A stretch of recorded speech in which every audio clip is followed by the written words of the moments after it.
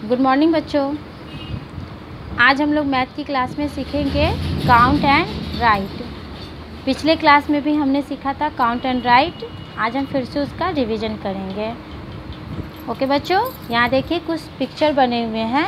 इन पिक्चरों को काउंट करना है और इन पिक्चरों के साइड में एक बॉक्स बना हुआ है। काउंट करने के बाद जितनी इनकी संख्या है, उतनी संख्या इस बॉक्स में लिखनी है। ठीक है, बच्चों?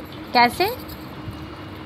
One two three four five six seven eight nine ten eleven कितना टोटल है ये?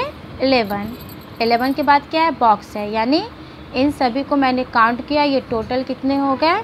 एलेवन और एलेवन हो गए तो यहाँ हम कितनी संख्या लिखेंगे? एलेवन ये देखिए।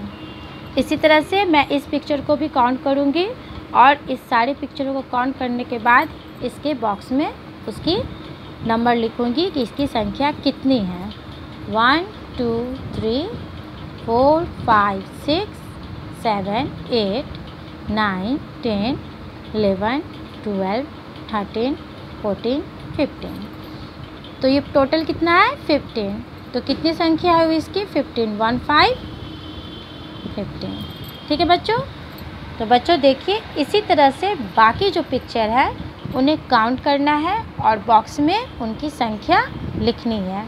ठीक है बच्चों? ओके बच्चों थैंक यू